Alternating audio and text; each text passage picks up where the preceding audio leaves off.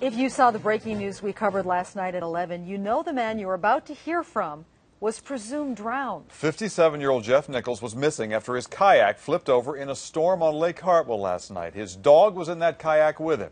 Tonight, News 4's Kisha Foster with a story of survival and the important lesson everybody can learn from this. It was quite an experience. Jeff Nichols is thankful for another day to be surrounded by his grandkids. I give him a big hug and kiss. I'm, I'm glad that he's um, okay and alive. And his best pal. This is who I was worried about the most. Senorita, a Chihuahua and Pomeranian mix. Jeff's constant companion. And the four year old was with Jeff last night when he had the scare of a lifetime while out kayaking on Lake Hartwell. When I went out to the island, it was clear weather. So me and my dog, we walked around the island.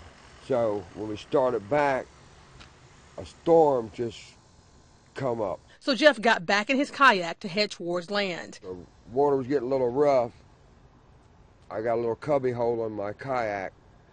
So I pulled out my life jacket and I put it on my life jacket. Well, it started getting a little rougher.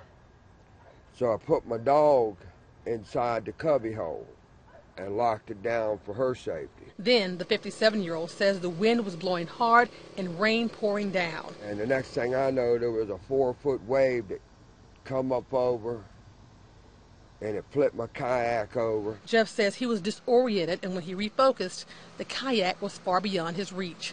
He was left stranded in the water and night was falling. Friends called for help. I stayed out there for five hours screaming for help. I could see the rescue people out there and lights. Jeff says his son and a friend found him floating in his life jacket around midnight.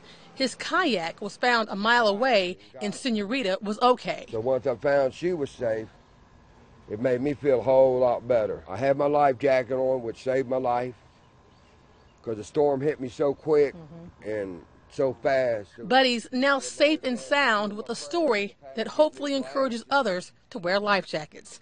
Kisha Foster, WYFF News 4.